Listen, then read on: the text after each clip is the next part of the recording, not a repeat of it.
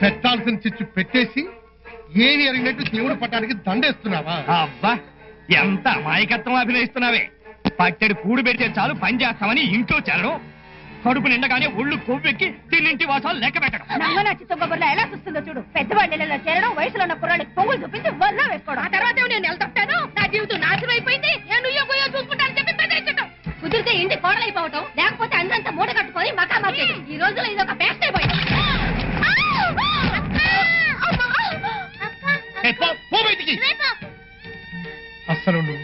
నీ బతుకెంత ఆఫ్టాల్ పని మనిషివి ఏ దిక్కు ముక్కు లేని అనాథవి నీకు జమీందారు గారు మనవడు కావాల్సి వచ్చాడే? నిజంగా నాకు అలాంటి ఉద్దేశం లేదండి. నేను వెళ్ళిపోతాను. మీరు తప్పుకుంటే నా పెట్టే పట్టం అవి తీసుకెళ్తాను. అంటే నీ పెట్టే పటమునా నీ బతుకి నీదంటూ ఒకటి ఉందే ఈ ఇంట్లో? ఇదిగో మళ్ళా ఈ ఇంటి కుమ్మం తొక్కావో ఆడదాని మీద కూడా చూడండి. అడ్డంగా నరికేస్తాను. పో, పో బయటికి.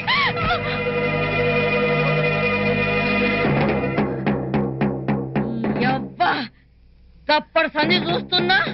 ఏమో లాస్ట్లలో పెడుతున్నావు? ఆడపిల్లని లేకుండా మెడ మీద చెయ్యేసి బయట నువ్వుతావువే నీ పుట్టుక అసలు మగ పుట్టుకేనా? మరి సభ. నోరమయ్యారా నెల తక్కువ వేతవా? ఏటా? పని మనిషి పని మనిషి అంటాను నీకో ఈ విషయం తెలుసా? నువ్వు పని మనిషి పుట్టినోడు వేరా ఏటా అలా చూస్తున్నావు?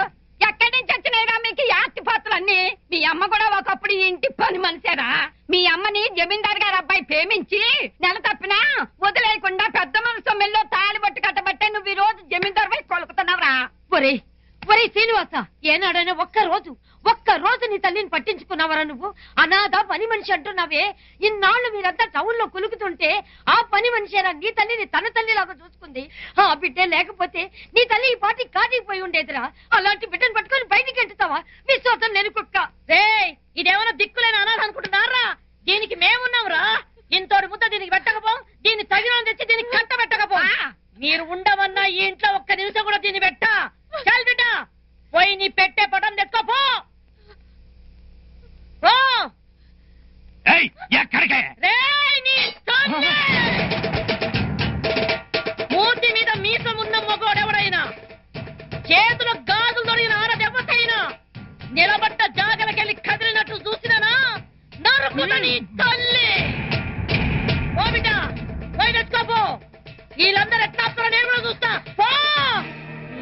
యవ్వా! అక్క అక్క నిన్ను మామ పిలుస్తుంది. అవునక్క నేను త్వరగా రమ్మంటుంది.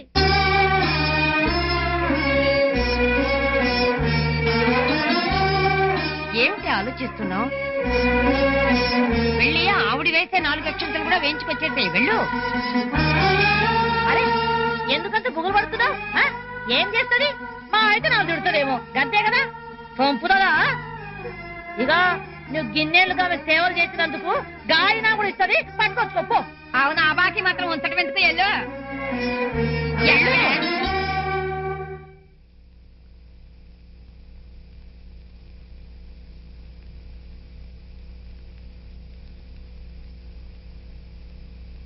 వెళ్ళిపోతున్నావా? నా బాకీ తీర్చకుండానే వెళ్ళిపోతున్నావా? గుర్తుందమ్మా. ఏదో ఒక పనిలో చేరి అప్పుడప్పుడు కేశవరావు మావయ్యతో మీ డబ్బు పంపించేస్తాను. నేను అడిగింది ఆ బాకీ గురించి కాదు. వేరొక బాకీ ఉంది. తర్వాత వినిపిస్తాను తర్వాత వినిపిస్తాను అని ఊరించేదానివే పాట. ఆ పాట పాడు. పాట? అవును. పాత రోజులు గుర్తు తెచ్చుకో. ఇక్కడ నువ్వు నేను మాత్రమే ఉన్నావు అనుకో. నా కోసం పాడు. ఇప్పుడు పాడకపోతే తర్వాత నువ్వు పాడాలనుకున్నా వినడానికి నేను ఉండకపోవచ్చు. అమ్మగారు!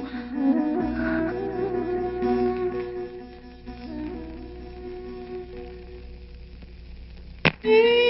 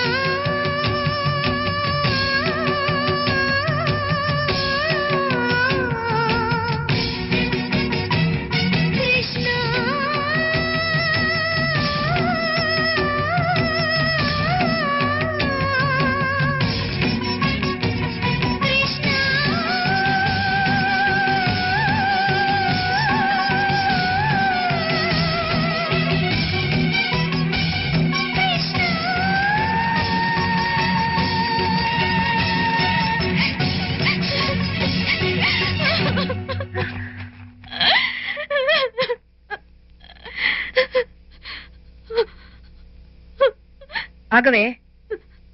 ఇల్లు వదిలి ఎందుకు వెళ్ళిపోతున్నావు? అడుగుతున్నది నిన్నే. మాట్లాడవే. తప్పు చేశాను అమ్మగారు అదే తప్పు చేసిన వాళ్ళు. ఇక్కడ ఇంకొకళ్ళు ఉన్నారుగా. వాళ్ళకే శిక్ష వేయాలి. ఇలా రా. నిన్నే. నువ్వు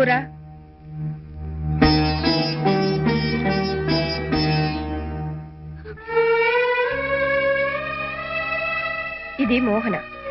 ఆస్తిపాస్తులు లేకపోయినా వాటికి మించిన బంగారం లాంటి మనసుంది గుణం ఉంది ప్రేమించడం ఎలా నేరం కాదో అలాగే ప్రేమికుల్ని కలపడం కూడా నేరం కాదని నా నమ్మకం. వీళ్ళిద్దరూ ఒకరినొకరు ఇష్టపడ్డారు. అందుకే వీళ్ళకి పెళ్ళి చేయాలని నేను నిర్ణయించుకున్నాను.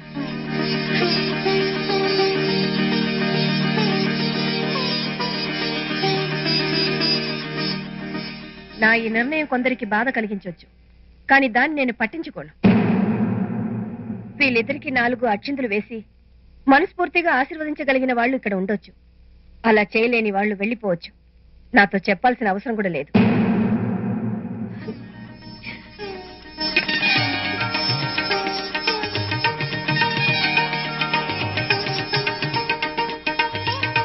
నా బంగారం.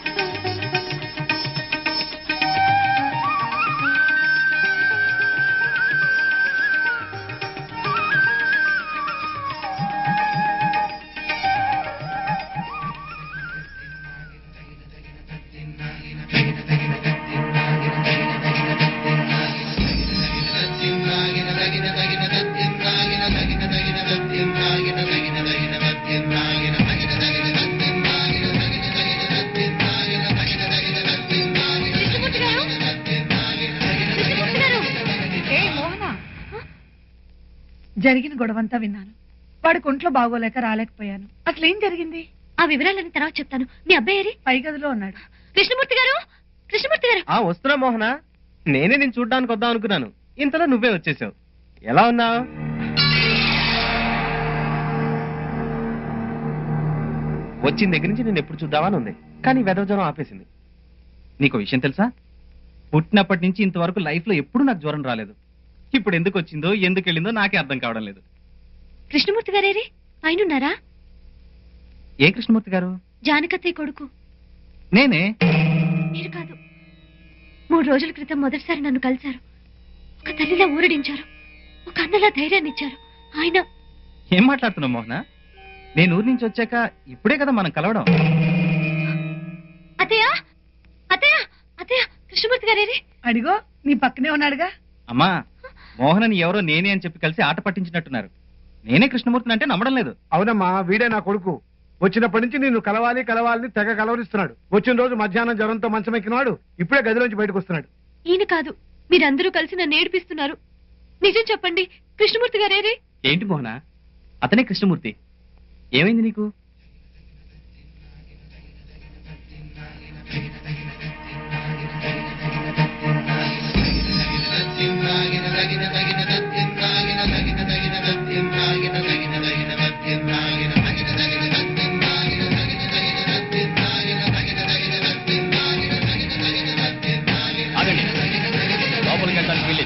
ఎందుకని? మంత్రి గారు పూజలు జరిపిస్తున్నారు. గంటదాకా లోపలికి ఎవరిని ఎలా చేయరు. లేదండి నేను వెంటనే స్వామిని దర్శనం చేసుకోవాలి. వెళ్ళనివ్వండి. కుదరదు. ఏయ్ చెప్తుంటే మీ కదా. కానిస్టేబుల్స్ వీళ్ళు ఎవరు లోపల ఇచ్చారు వాళ్ళే తోసుకుంటూ వచ్చేసారు సార్. Sir please sir. మా పెళ్ళి నిశ్చయమైంది. ఆయన ఆశీర్వాదం కోసం వచ్చాం. ఒక్కసారి దండం పెట్టుకుని వెంటనే వెళ్ళిపోతాం. చెప్తే అర్థం కదా?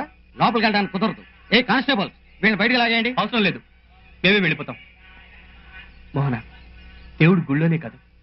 మన గుండెల్లో కూడా ఉన్నాడు. ఇక్కడి నుంచే దండం పెట్టుకుందాం.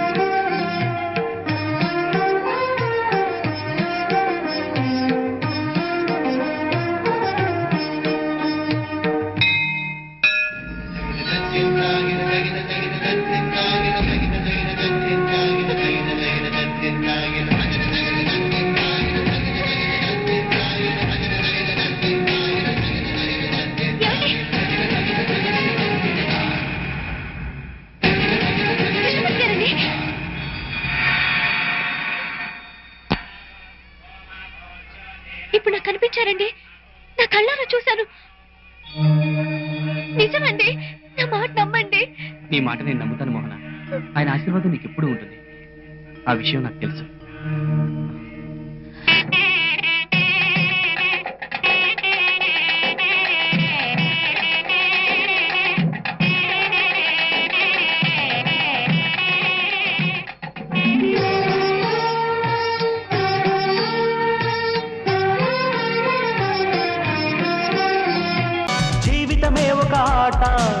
సాహసమే పూబాట జీవితమే ఒక ఆట సాహసమే పూబాట నాలో ఊపిరి ఉన్నన్నాళ్ళు ఉండవు మీకు కన్నీళ్ళు.